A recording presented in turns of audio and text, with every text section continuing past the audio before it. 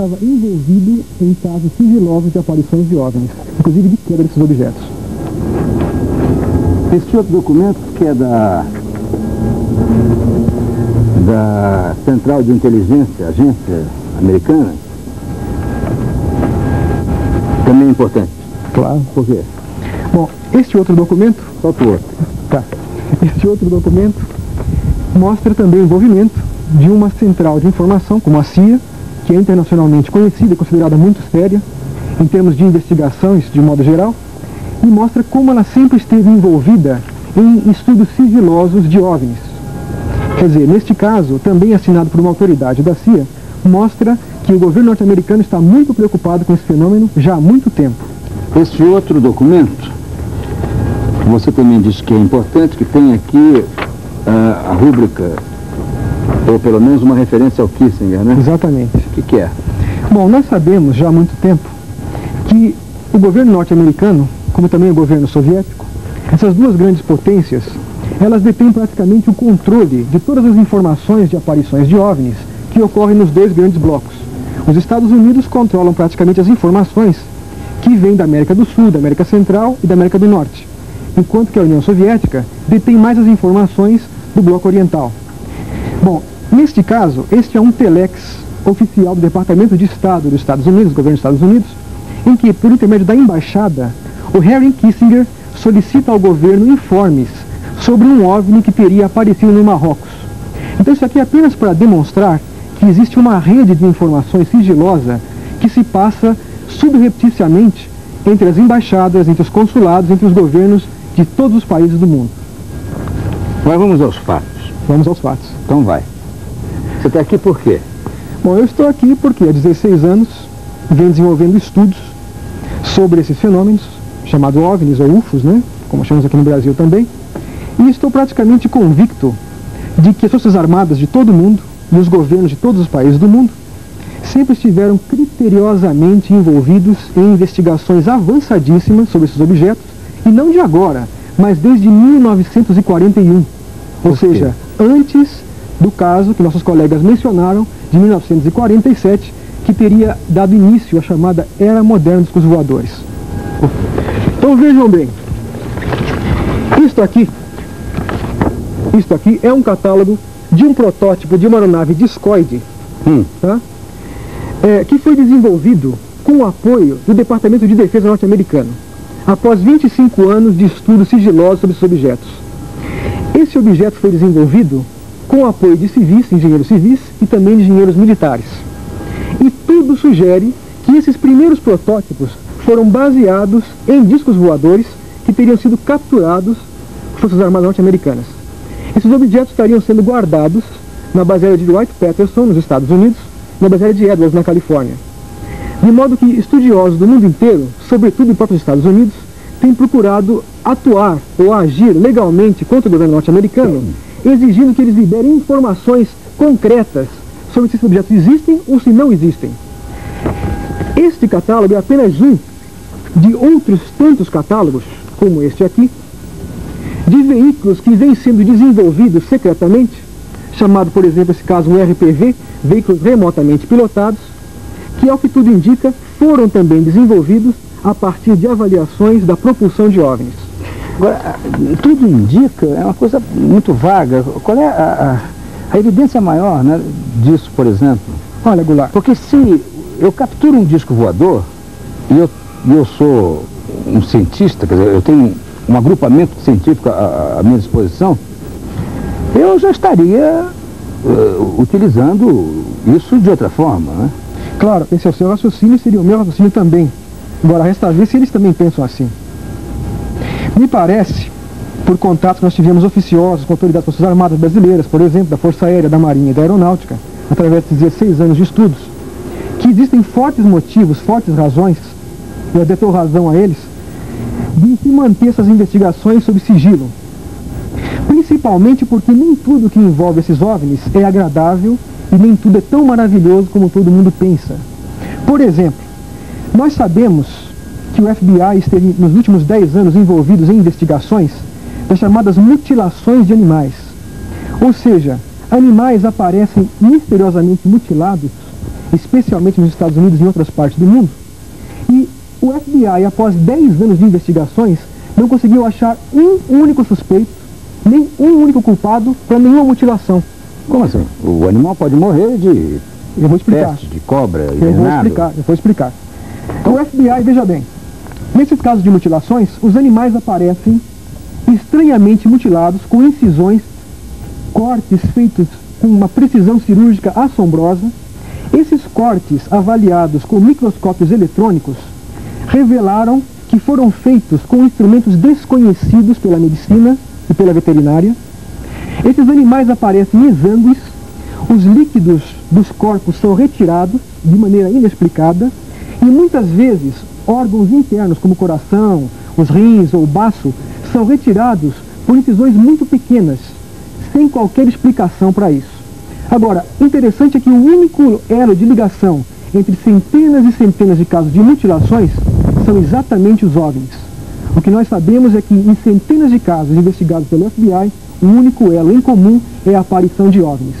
E sabemos também que nas reservas dos indígenas americanos, os índios, aquela linguagem peculiar da cultura indígena eh, dos americanos, eles disseram que em vários casos viram os deuses ou homens das estrelas roubando seus animais, roubando suas vacas, né, os seus cavalos, e suspendendo os animais para o interior de carros de fogo, suspensos em cordas ou em alguma coisa parecida com uma corda, para na manhã seguinte os animais aparecerem misteriosamente mortos e também mutilados.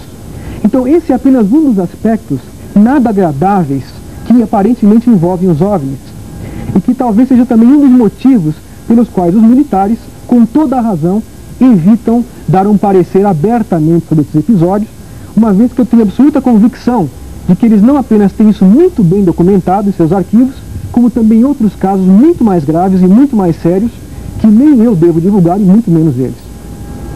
Como você não deve divulgar? O que se passa é o seguinte, Goulart. Nós sabemos que uma série de coisas, que por exemplo, o desaparecimento de seres humanos, desaparecimento inexplicado de seres humanos, que Onde? também tem em diversas partes do mundo. Quando? E, puxa, ao longo dos anos, desde que começou a existir a ufologia oficial em 47, 48, houveram diversos casos documentados de pessoas que após a aparição de OVNIs simplesmente desapareceram e nunca mais foram vistas. Agora, para onde foram? Ninguém sabe. Qual o destino delas? Ninguém sabe. E isso vem sendo minuciosamente investigado por militares do mundo inteiro. Agora, isso é um enigma, é um enigma muito grave e muito séria, de modo que os militares não devem fazer pronunciamentos a esse respeito até que eles tenham uma comprovação e tenham uma certeza concreta do que foi feito com essas pessoas. O que se supõe, pelo menos, até agora, dentro de todos os estudos que foram feitos?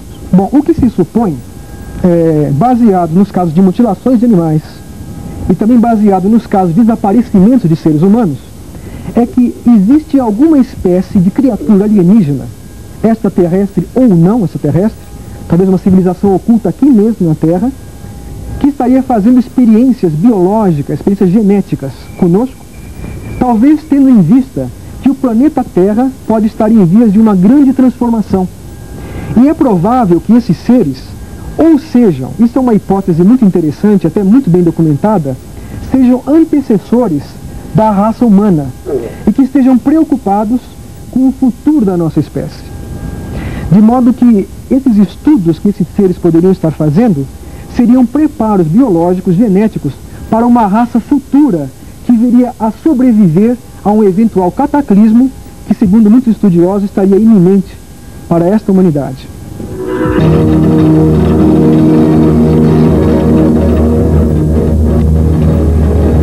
Vou encerrar esse programa, mas eu queria uma assinatura final. Então eu proponho que vocês conversem entre vocês sobre as, as vossas experiências. Eu vou ficar só ouvindo aqui. Agora, do ponto de vista de análise de, de uma coisa concreta, eu percebi que você insistiu muito nisso. Eu tenho a impressão que os colegas e outros que não estão aqui participariam talvez dessa opinião. A ufologia é uma coisa muito pessoal para quem viveu isso. Eu estou falando isso porque eu vi algo que me convenceu, embora esteja acostumado com todos os fenômenos astronômicos, meteorológicos, tudo o que eu vi realmente estava fora de. Qual é a sua atividade eu, fora? Eu trabalho na indústria automobilística, sou, trabalho na área de computação, minha formação de curso superior é de matemática, né? Então eu tenho alguma experiência nessa área de astronomia desde, desde longos anos. Eu estou acostumado a olhar para o céu, mas nunca dei cabeçada em poste. Certo? Uhum. Agora, o que eu queria talvez dividir com eles, acho que isso talvez seja uma coisa muito importante. Por quem vê, o telespectador que está agora assistindo, poderia ficar na posição que você está, né? Querendo uma coisa assim palpável. De costas. Não dá para ter essa coisa palpável. Isso nos foi negado até hoje. O que nós temos é filmes, fotos, e testemunho de pessoas acima de qualquer suspeita, como pilotos de aviação, militares. Inclusive, essas pessoas que foram submetidas a uma série de testes, de ensaios, inclusive hipnose, com regressão mental, e se conclui realmente que eles tiveram, passaram por experiências realmente estranhas. Isso tudo são provas. São provas do, do, do fenômeno em si. Fala de um caso. Deixa, deixa eu citar um caso. É, um o caso. famoso caso de Barney Beth Hill. Em 1961, estava voltando de uma viagem de férias lá próximo de Nova York, New Jersey, etc. Naquela área. Eles foram acompanhados por um objeto, voltam, esses viram esse objeto descer e depois daí para frente a coisa parece que não tinha tido sequência, olharam para o relógio e perceberam que faltava duas horas na vida deles que eles não conseguiram registrar. A coisa parou aí. Foram procurar um especialista, o Dr. Benjamin Steinman, um psicólogo, e esse homem, com muita habilidade, conseguiu é, trabalhar com eles na nível de hipnose. E entre outras coisas, para encurtar o assunto, os dois estiveram dentro da nave, em um solo, não viajaram Hum. E lá dentro foram submetidos uma série de exames, de testes e tudo. Entre eles um teste que fizeram na Beth Hill, uma perfuração no abdômen dela, que hoje nós chamamos de laparoscopia, em que eles na nave indicaram que ela estava grávida. Então, havia um processo de gravidez em, em Isso em 40 e... Não, em 61. 61. Mas o ponto mais importante é que ela viu, ela conseguiu conversar com o comandante desse objeto, e ela viu um mapa estelar na parede.